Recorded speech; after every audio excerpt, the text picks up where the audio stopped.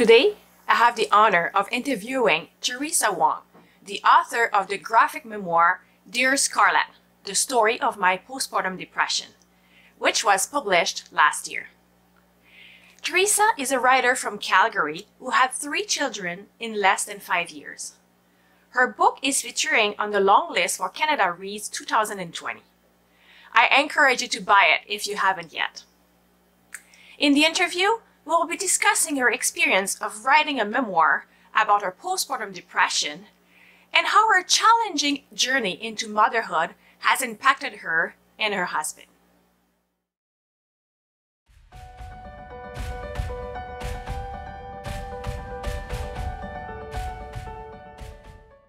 Hi, Teresa. Hi. So nice to see you. Thanks for having me. Thanks for uh, accepting to do this interview with me. I'm very happy uh, to have the privilege to interview you. Um, I got your book, Dear Scarlet, that I have here actually, uh, your story of postpartum depression. I got it for Christmas and I read it so fast. I mean, and within the first pages, I was very touched by the story and I was like, okay, my idea was right away, I want to interview her if I can. And yeah, I'm so glad you accepted to do it. Oh, great. Thank you. So, do you want to tell us a little bit about yourself to start? Um, well, I live in Calgary, Canada, and I um, am a mother of three kids. Uh, they're 10, 9, and 5 currently. And I um, am a professional writer, like a copywriter for uh, a digital marketing agency. But um, in my other time at night, I like to write and draw, and, and I've always wanted to do a book. And so um, I just feel really fortunate that I had a chance to do that. Sure. Oh, yeah. And your book is wonderful. so, talking about your book, uh, what was the first seed of your idea of writing a graphic memoir about your postpartum depression? Um, the the first uh, um, notion I had of doing a graphic memoir was when I was pregnant with my third child, um, Isaac, and I was uh, kind of it was the first trimester, and and I was laying in bed, and uh, I was having trouble sleeping, and all these images kept popping into my mind of the time when Scarlet was born, just the delivery room and everything, and and I. Um, I just couldn't get those out of my mind. And some of them were so vivid that um, I started to cry and I realized that I wasn't quite done with that story. Like I had had a lot of, um, I'd had a lot of treatment, you know, for for both my bouts of postpartum depression, and and I had had counseling, and and I thought, you know, it was over, but there was still something in me, and so um, it, it could have been the pregnancy hormones too. And uh, and so I thought I've got to do something with this, like really get it out of my head and onto paper. And so um, I didn't do that right away, obviously, because I was like three months pregnant. Went through the pregnancy and, and had him, and about a, a year later, I sat down to write the story, and um, and it just I realized that because the the images were so strong um, that really it should be a graphic um, versus just a written prose story. Oh, so did you have any skills of drawing? No. I um. So, like I said, I, am a professional writer, but um, I never really I drew as a kid, uh, and I liked it, but you know, kind of gave it up as many people do um, growing up and realizing that you're not gonna, you know, you're not the best drawer, so you're not gonna make a career out of it. And then um, when I had my two girls, um, I started drawing again just for them. You know, oh, we would sit down, you know, with crayons and markers, yeah. and, and they would ask me to draw them, draw them things, and so I started doodling a lot more. And um, so when I had the idea for the book, I had a I had the script, like the words written, and I thought, you know, this should be a graphic. Um, maybe what I'll do is I'll go uh, buy a sketchbook, you know, from Michaels and and just kind of sketch out a storyboard really roughly, um, and then show it to a friend who um, was an illust- is an il- illustrator Okay. and basically beg him to collaborate with me. and so, so I drew out the whole book as I imagined it to be, and then um, I met up with him and I showed him, and and he said, you know, like the story is so personal um, and um, and vulnerable. Like I feel like you should really be the one to draw it. And he said, your drawings aren't that bad. and I said, well. not. I mean, I and, and I said they were that bad actually because that was in the sketchbook, and the, you know, I, I I said, well, I can do about you know like twenty five percent better. like I know I have better skills, but not much better. And so um, he said, no, it'll be fine. And and so I just um, I, I basically Googled uh, how to draw a graphic novel. Found it.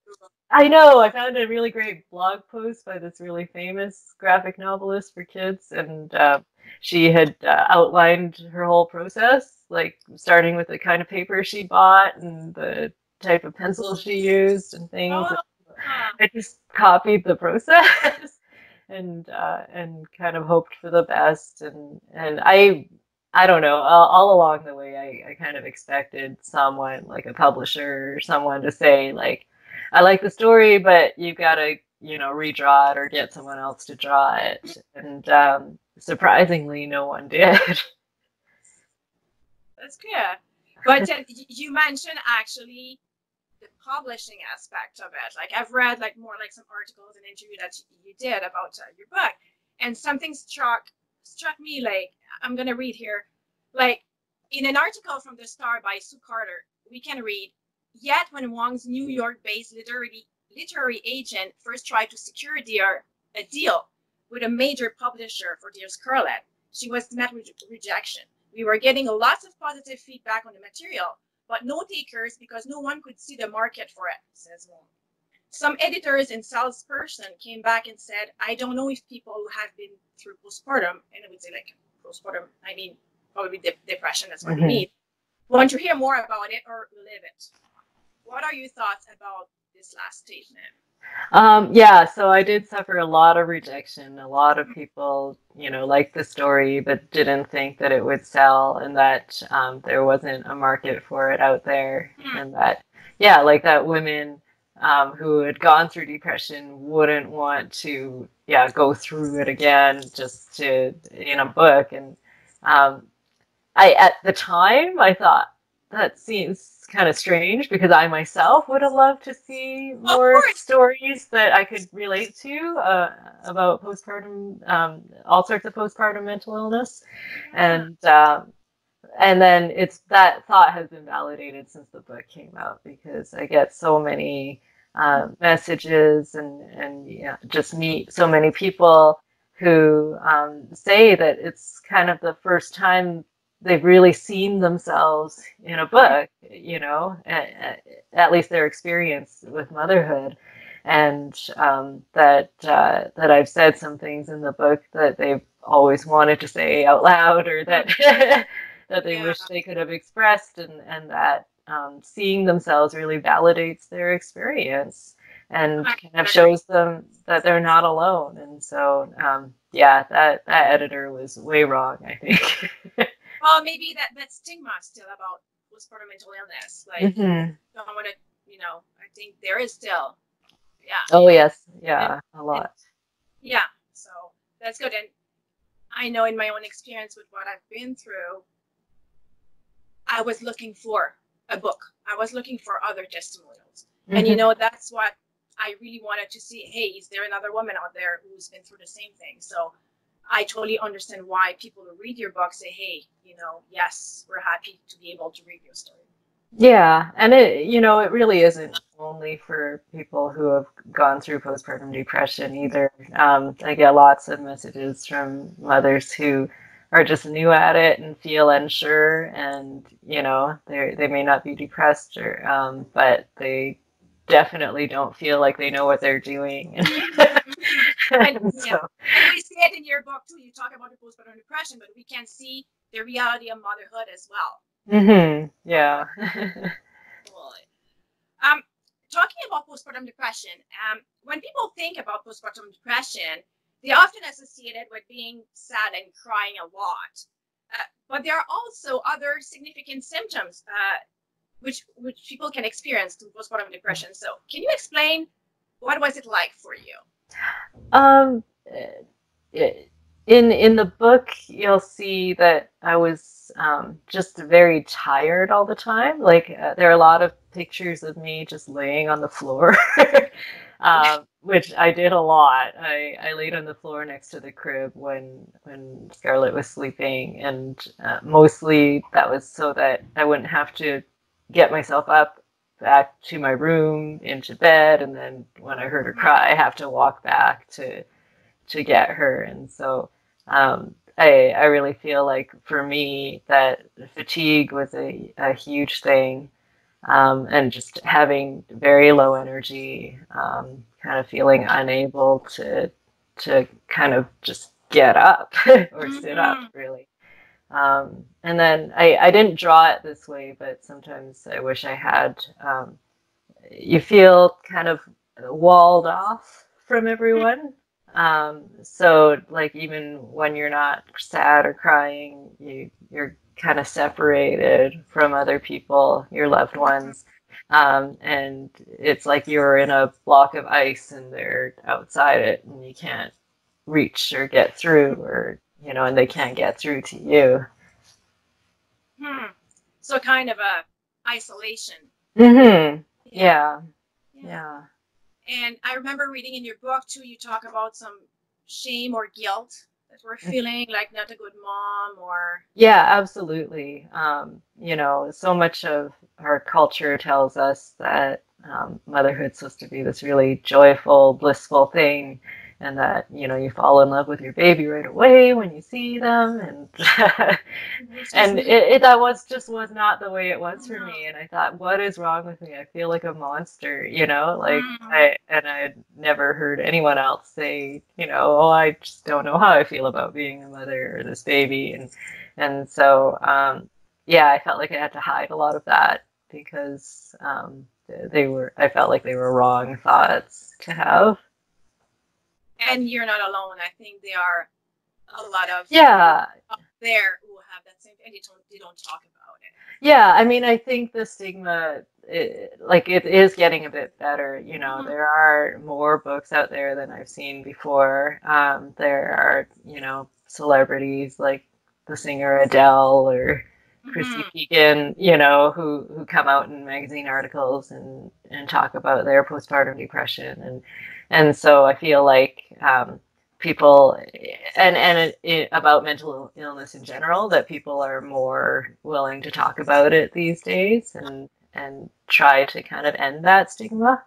But yeah, it's out there, and especially when it involves like you know a little baby and yes, yeah, yeah, we want people to think that we're parenting our baby the best. Right. We want to be good right. mothers and, and be, be seen as good mothers, and and yes. so, um, but what that how you define that is is really complicated. mm-hmm.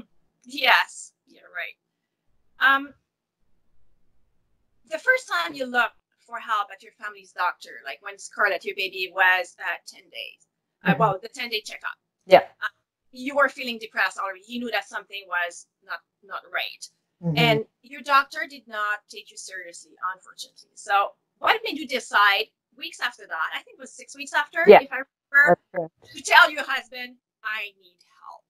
I, I mean, I don't think I decided that. I think oh, okay. I had reached my breaking point. Like I just you knew that something was wrong and that I couldn't do this. And, you know, I, I, um, couldn't hold it in anymore and or pretend or, or hide it. And so um, yeah he he saw that. And I, and I'm pretty sure that he um, probably felt pretty scared all the way through you know like coming home to to me every day you know like just um, knowing that I wasn't being myself. And and so he was probably relieved that I finally said something and yes so I knew you. Like, I mean, he knew that it was really hard for you, and it must have been really hard for you because that's actually the next question. Like, mm-hmm. it was a really challenging time for you, but at the same time, it it, it was challenging for your husband as well because seeing you mm-hmm. going through this must have been very difficult for him too. Yeah, and he didn't know what to do. He didn't, you know, neither of us had really known much about postpartum depression. You know, we you don't talk about it like leading like during your pregnancy leading up to the birth and so um, neither of us expected it and then um, also he was he he was helping a lot. He was trying to help take care of the baby as well because he knew that i wasn't doing very well at that like and so um, he was tired too and uh, yeah didn't get a lot of sleep but then he he had to basically take care of us both and um, and then he didn't he didn't know how to how to fix things. Hmm. Yeah. So that must have been a feeling difficult for him, like trying to fix it, but not mm-hmm. knowing exactly how to do it. Yeah, there's a part in the book that I, I mean, I see it as sort of funny now, but it, it's a little bit heartbreaking too. Is uh, when I um, accidentally back out of the garage and and hit my oh. garage door. uh, one day while while trying to go out, and um, and then the rest of the day I was just everyone was fine, but I was just freaking out, thinking, "Oh no, what's he gonna say when he comes yeah. home?" And uh, and uh, he came home and and you know called a guy and try you know figured out everything that needed to be repaired, and then um, I was apologizing profusely, and and he said, you know, like all this time I've been coming home and I d- didn't know what to do. I'm just glad that there's something that I could fix. Like, mm-hmm. yeah. He had a solution so, for that. Yeah, exactly. It was something he could handle, and so um, yeah, it was it was really hard for him. Mm-hmm. Yeah, and but I see that when you ask for help, like he was really proactive of you know, like helping you finding help and then Yeah, he's a very solutions oriented person. so oh, that's good. Yeah. yeah. Um so what helps you in your recovery process? Like you talk to your husband, you say, I need help. And I, I know like you mentioned something that you did too to, for you to have some help during the day, but can you tell us about your recovery and what helped? You know. Yeah, I I mean it was multiple things. It wasn't only one thing. It was a lot of things working together mm-hmm. and um, just saying it and having a diagnosis helped. Um, you know, be like feeling heard and and um, and uh, listened to by the doctor. And then um, I uh, went on antidepressants right mm-hmm. away, um, and they don't work right away, but after a little while, they they were helping. Um, I got in to see a counselor uh, who specialized in postpartum depression um, fairly quickly. I was lucky. Um, you know, yeah, with the healthcare system, it is sometimes you, sometimes a quite a long wait, and but um, someone had a cancellation, and so uh, I was able to start um, counseling uh, just a week or two after um, I was diagnosed. And um, like you said, my husband uh, found us a postpartum doula. Um, yeah.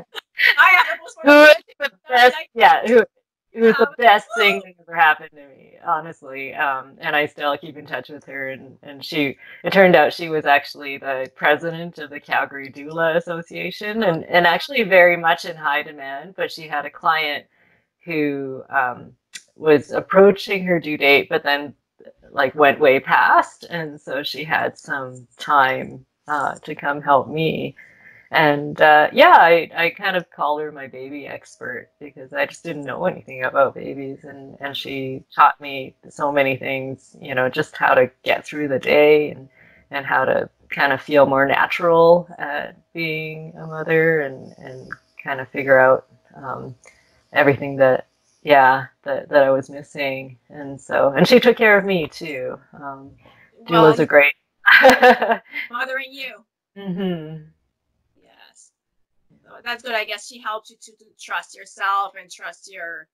your yeah, trust my gut. Like, yeah, and uh, and she, you know, like was also very validating. Like, um, I remember having a conversation with her because I had, um, I had actually uh, had the option of having a C-section because my placenta was very close to the cervix, and had opted out of that. And, and I said to her, "Well, I don't know. Maybe I should have just done that because then I, you know." mm.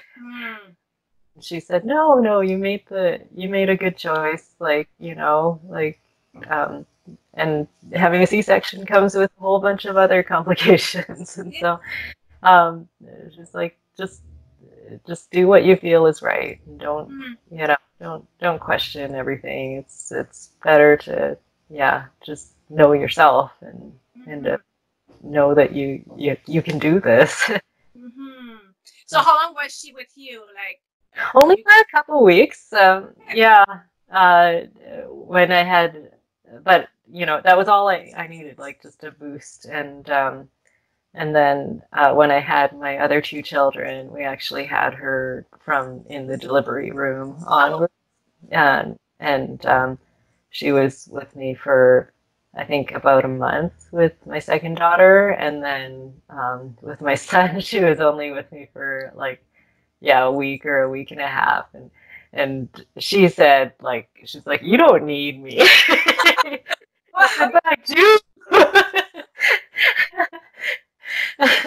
but I do. She's like, you know what you're doing now, like you know. and she she also always said like that her job was to work herself out of a job, oh, like you know, and to enable and equip me to to feel like I could do it myself. And so, um, but uh, I mean, the lovely thing is she always she said I you know there's no limitation to like if you need to call or text or mm-hmm. you know questions like um, but you know she's like you can handle this yeah, and i did great experience with a baby and um, I, I read at the end of your book that with your second baby like your second girl you did experience postpartum depression again but like at six months yeah it was a little late. So how, was it, like, how was it different like from the first time or was it different in the first um, time I it was quite different. It uh, like I was surprised again though that mm. it happened because I you know we were really prepared. We thought you yeah. know now it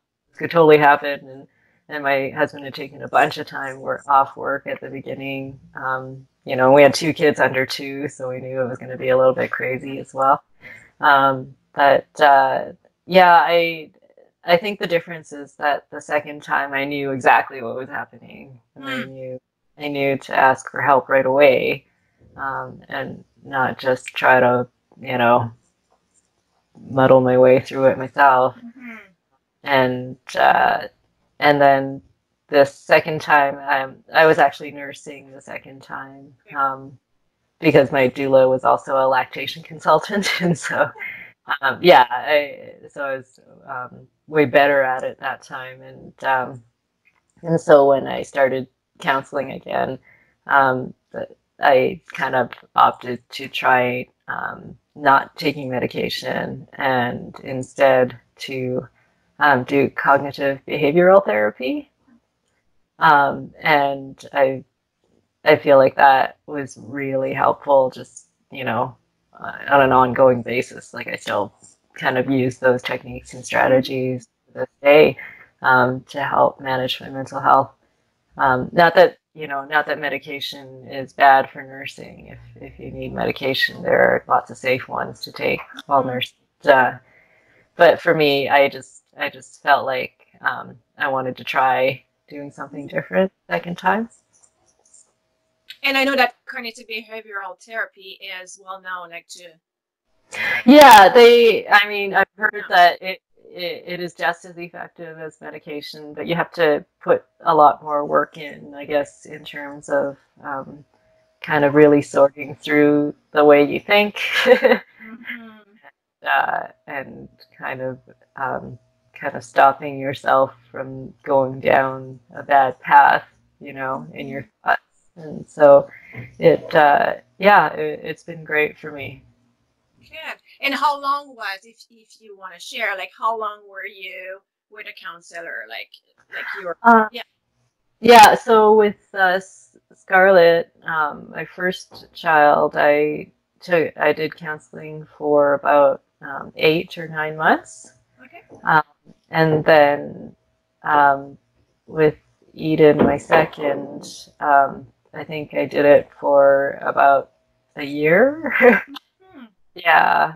Um, and then um, when I had, uh, when I was pregnant with Isaac, because, you know, once you've had depression, you're higher risk of, of having depression later on.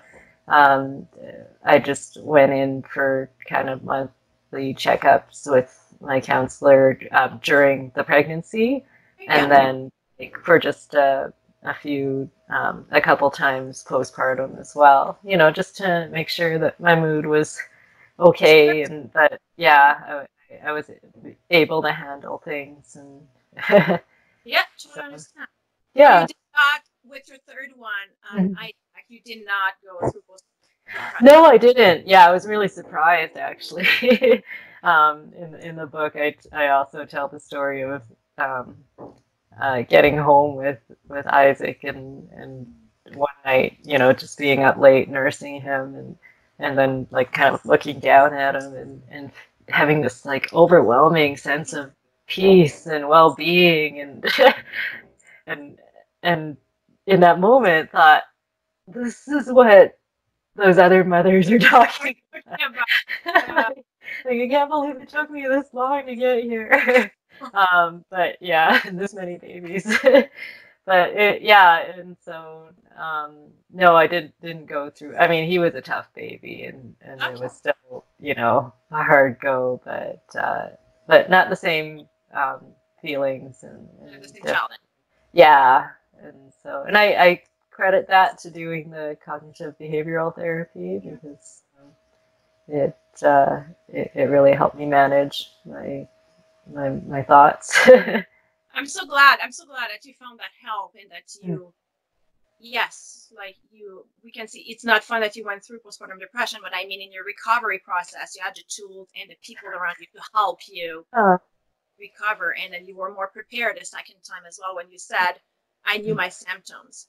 So you got yeah, help right away when you needed it. yeah, no, and like not that I I'm happy I had postpartum depression, Mhm. but you know now in the years since I have realized that like I had gone through depression, probably two major depressions, like like when I was younger.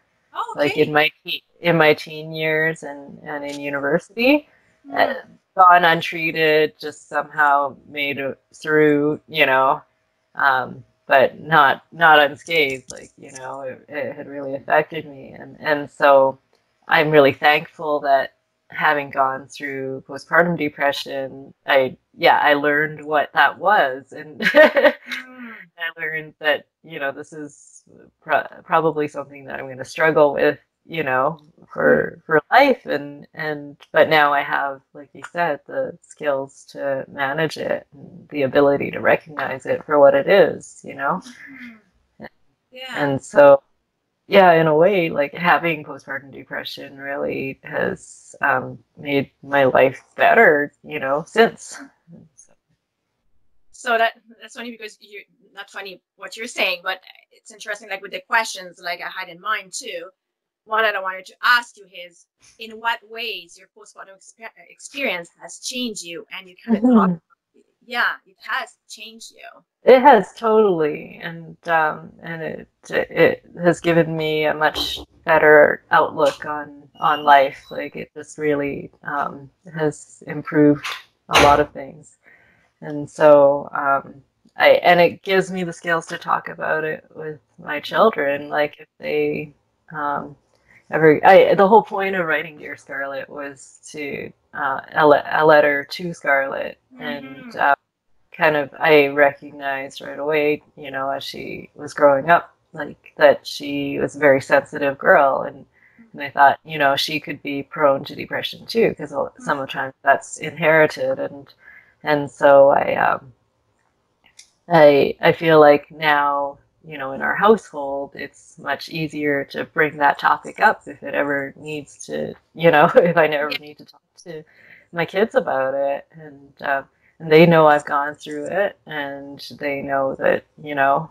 I've, I've uh, um, managed it, and that there is kind of like a way out. And it's it's a treatable thing, and so um, yeah, I, I'm thankful for that. And I totally understand. It's an open subject in in my family too. Like with my kids, they're ten and five, and um, that's what I what I've been through was like I want I want it to be an open subject with my kids and to be open about it and we are and the thing is that my hus I was diagnosed like with postpartum bipolar disorder mm-hmm. and my husband three years after got the diagnosis of bipolar disorder oh so wow I, yeah so he had a history in his family about mm-hmm. it uh, not not me so both having that diagnosis like we're like there's also a chance that her kids might get it there's Yeah. So so we're like we wanted to be open with our kids, talking about it. We talked that yes, we're taking medication, and and I know my son is. You said you, your uh, Scarlet is very sensitive. My son is a very sensitive boy as well, and mm-hmm. you know he shares the, the kind of emotions he had and everything. And yeah, we're open about it, and I'm grateful for that. That I, I tell my kids like if you don't feel right you you talk to us. yeah, no, yeah. that's that's a great thing. I think you know because otherwise it's so hidden and you know, mm-hmm. and and when it's out in the open, it, it can be treated and helped, and you know. yeah. Yes, and, and, and, they know, like they know, like sometimes I where's Papa? Oh, Papa, you know, he's visiting his psychiatrist right now, and you know, he's taking he's going to see a psychiatrist on a regular basis, and I was seeing a psychiatrist on a regular basis as well. Um, not anymore but um, mm. yeah so, so they knew like this we're taking care of ourselves we're taking care of our brain and yeah yeah i think that's great and you know i mean who knows too you know who they might help in the future like with their friends it, it, i mean mental illness is not uncommon and so mm-hmm. um, if they know how to talk about it and know how to recognize signs of it then you know they could be helpful to other people as well Totally, Yes. What do you want to say to parents who are listening and who might be going through postpartum depression or another postpartum disorder?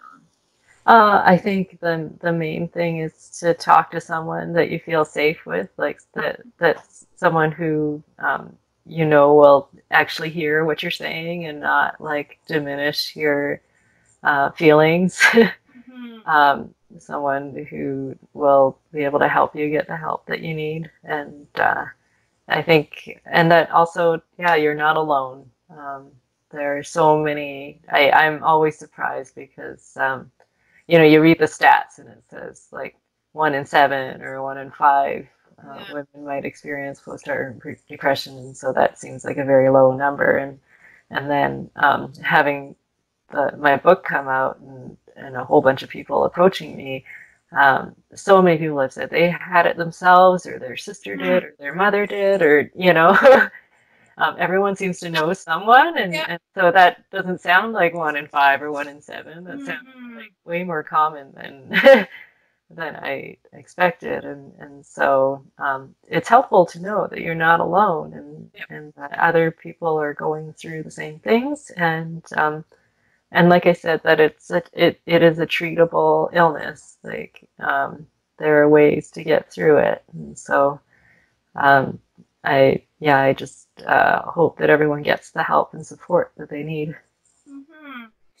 And uh, yeah, there's also the idea of they're not to blame as well. Like yeah, absolutely, yeah. Yeah, it's not their it's it's not our fault. No, it, it happen it can happen to anyone mm-hmm. so, absolutely yeah.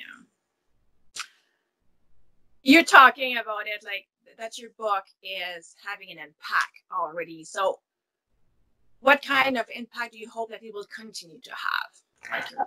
Um, I mean, I hope I I'm very encouraged when people say to me that you know they loved it, but they also just pass it on to their friends or other friends, um, other people who are having kids in their lives, and um, and uh, yeah, some some women have um, kind of made it their mission, I guess, to buy copies for every uh, baby shower they go to. Oh. and it's funny when you said that your your copy was a, a, Christmas gift because part of me is like, why would anyone want that for a Christmas gift? and maybe no no one wants that at their baby shower either. But it's I um I I hope it helps people. Like I hope it helps um especially new mothers who don't know what they're getting into and have all these expectations and you know sometimes those expectations can be quite off and so um, I, I, hope it's helpful in that way. Um, yeah I, just hope uh, the it just opens up conversations and and uh, really helps people. Yeah and interesting what you're saying about some mothers that don't know um, what motherhood really looks like. Um, in the postscript of your book, you say motherhood is intense. It is both wonderful and unbearable, often at the same time. So, were you prepared for this reality when you become like, or what do you think would have been helpful for you? To I'm not sure. I don't know what would have really prepared me. I, you know, honest talk, I guess. But uh, no, I was not prepared for what motherhood really feels like, and and I guess just how um, unsure you can be about everything and, and at every stage, you know, like my yours and my kids are, are older now, but it's a it's a new challenge every every day. Like you you um but uh, but I guess it's it's going back to just trusting your gut, trusting your instincts, um, doing things out of love and uh, mm-hmm and really just hoping that that that is enough. mm-hmm. Good. Thank you so much. Oh, thank um, you. And, and, I wanted to congratulate you talking about the impact of your book because your your book is featuring on the long list for Canada Reads 2020. So yeah, that was a real surprise. I, I didn't make it to the short list, but that's okay because I wasn't expecting. Mm-hmm it's a very um, yeah a great honor and uh, and it's giving the book a wider readership like more mm-hmm. attention and um, and yeah it's it's done well in in the media and and with things like Canada Reads uh, which I'm surprised by because I my publisher is small it's a small Canadian press uh, called Arsenal Pulp Press and they're just five people out of Vancouver and and they just uh, put out books that they really believe in and you know they're not in it just for the money. They want to they want to give um, you know voice to to marginalized people and, and tell stories that aren't aren't told in you know kind of the bigger venues. And so i've been really thankful for them and, and they've done great a great job just getting this book out there and, and into people's hands or to mm-hmm. be read piles. yeah. And it is so original, the fact that it is also graphic.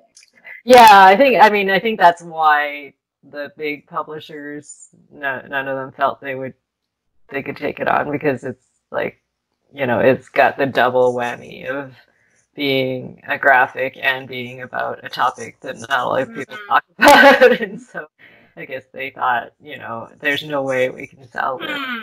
I, yeah, so I'm I'm really just happy and grateful that um, people uh, have responded to it in the way that they have.